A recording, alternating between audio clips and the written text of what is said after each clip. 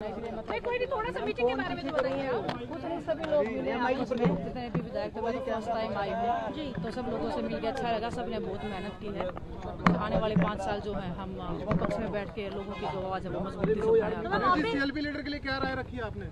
Sir ये party का protocol है हम ऐसे ओपनली अगर बताएँगे तो फिर ठीक नहीं है। चल रही है प्रक्रिया और जो हमारा हाईकमान डिसाइड करता है। वन टू वन बातचीत हो रही है क्या विधायकों से? ये मैं इनसाइड डिटेल्स नहीं दे सकती सॉरी ठीक है। और आप भी डिसहार्टन हुई जिस तरीके से जो स्पीच आई है, कांग्रेस की हार हुई है? देखो, हार और जीत में तो मेरे से अच्छे से कौन समझ सकता है? तो हार जीत तो मैदान में जाओगे तो दोनों बनी रहती हैं।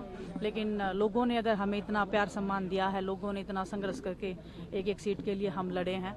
और मजबूती से कांग्रेस पार्टी इसको विधानसभा में विपक्ष की जो भूमिका है, वो हम मजबूती से उठाएँगे। और लोगों ने जो मैंडेट दिया है, उसको हम सिरे से बिल्कुल पाँच साल तक उनकी लड़ाई लड़ने का हम काम करेंगे और नए रोल के लिए तैयार हैं अब एज एमएलए हो जाएँगे तैयार बहुत सारे सीनियर लीडर्स हैं हमारे जो सिखा रहे हैं हमें एक एक चीज़ें। खिलाड़ियों को भ्रम में रखा और असमंजस की स्थिति उनका इस्तेमाल किया गया खिलाड़ियों का।